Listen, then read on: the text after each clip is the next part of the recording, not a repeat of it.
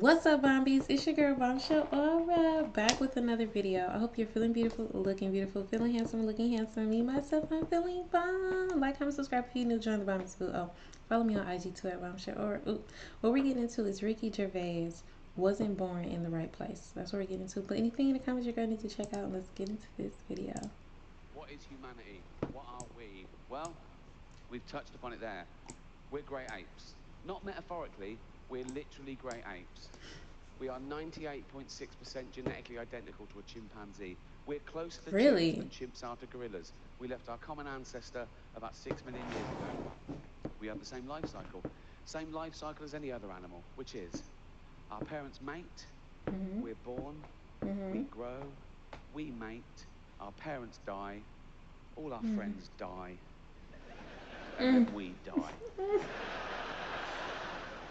Now, my seven-year-old niece didn't like hearing that, right? Right. But I said, you've got to look. I said, stop crying.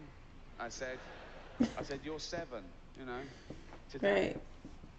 So, Right.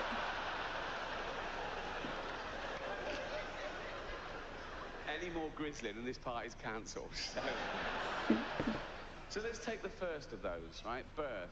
It's already an odd one for humanity because the human being is born before the end of its natural gestation period. And by that I mean because of our evolution, our brain is so big, we have to get that huge head out early. That's why the skull is in parts and supple, right? And then we have to carry on gestating outside the womb. That's why we're so useless. Compare us to other mammals, right? A Right. giraffe is walking along, it goes, oh, I'm proper pregnant, right? I'm gonna have a baby giraffe right here. Right? yeah, there it is. That is. See you later. Right? And the baby goes, Mum, can I have a? s- It's got to be fucking ready, right? We're we're helpless, right? Just think of that, right? Nine months, we're just growing in this perfect environment, just like that. Everything's.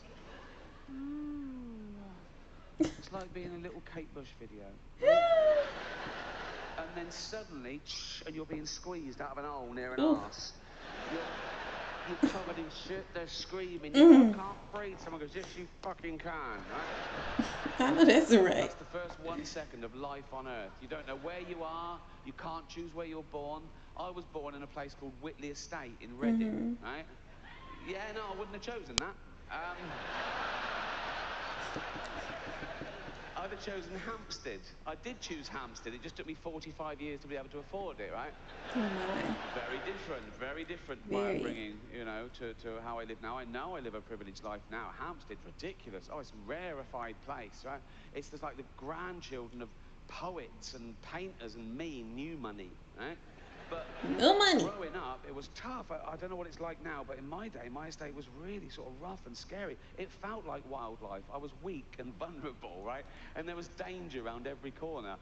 The school I went to was on my street, and I ran there every day so I didn't get mugged or molested. And Oh, there weren't a lot of paedophiles in Reading because the murderers had killed a lot of them, but there was still a, a couple, right? I moved to Hampstead. Oh my God, it's no crime. I saw a knife once in Hampstead. It was a palette knife. Just a bloke just painting, oil painting, in the middle of the street, broad daylight. No one was gobbing on it or calling him Bender. It was weird. Right? So I know my life has changed drastically, but it wasn't always like that. And the reason I'm telling you this, as a famous person, you sort of read about yourself, you know, mm. gossip and you know Twitter and everything. And that one thing kept cropping up, even when I was preparing for this tour. People saying, "Oh, oh, he's out of touch. He's so famous. He's rich. He's mega rich." I am. Right? I could have this place burned down for a laugh.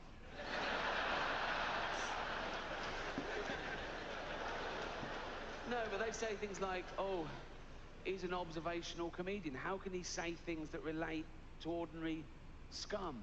And I say, I say, don't call them scum, right?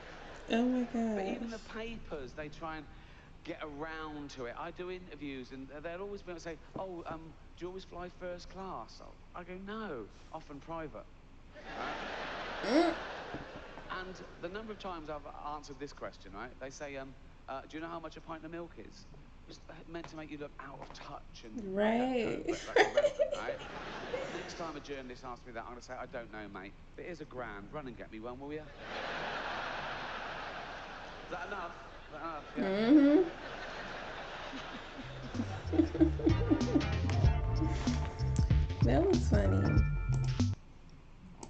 Ricky Gervais, he has a different type of humor, and I'm starting to like get into it for real, for real. You know, it so like I be shocked when I watch him, but put more videos that I should watch in the comments, y'all. I love you guys so much. Gratitude for all of the love and support, and I'll see you guys next video. Bye, Bobbies.